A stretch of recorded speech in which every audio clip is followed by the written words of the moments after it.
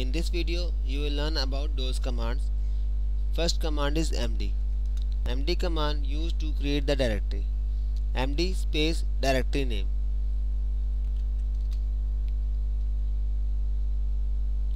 If we want to see the directory in DOS mode we can use dir command.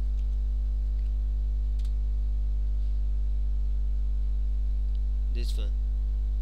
If you want to see the hidden file in DOS mode we can use dir slash ah. This command used to show hidden files.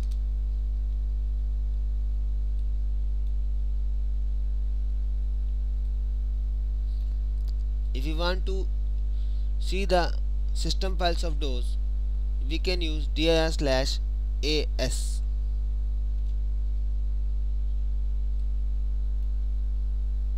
These are the system files.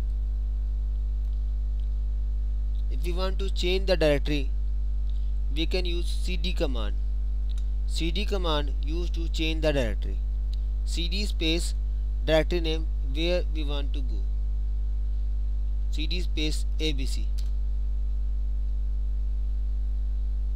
If we want to exit from this directory we can use cd slash we want to go to the another directory we can use cd space windows.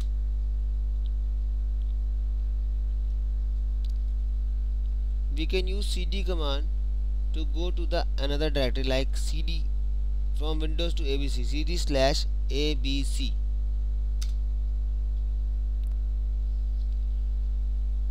cls command used to clear the screen. Like this. Cls we can use cd dot dot also to exit from the current directory. Rd command used to delete empty directory. Rd space abc abc is the directory name. We can use prompt command to change the prompt.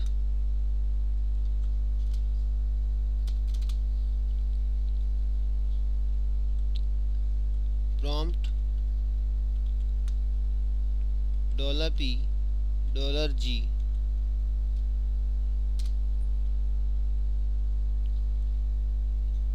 We can use ren command to change name of the file and the folder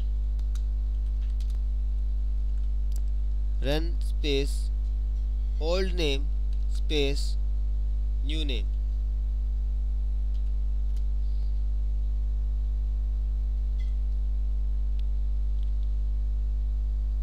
Edit command used to create the file.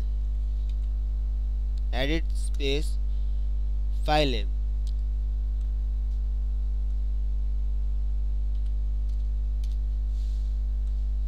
We can type here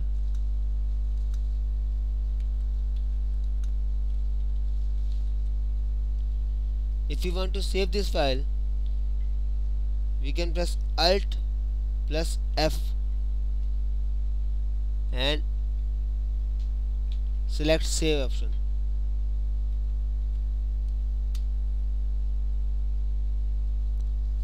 To exit from this file we can use alt plus F then select exit